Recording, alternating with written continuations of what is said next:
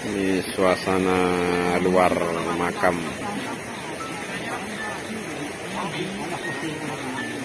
Ini acara menjaga makam Selosok Kliwon. Ini hari kedua.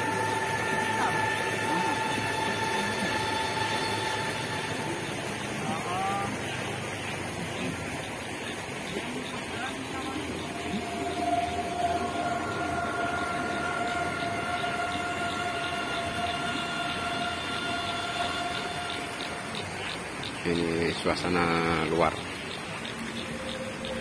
Ini kedua kalinya saya bikin konten menjaga makam Selosok Kliwon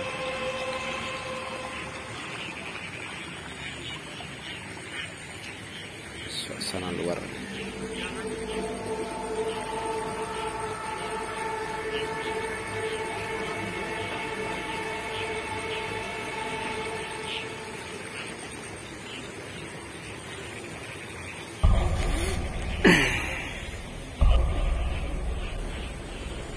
したくなるかす。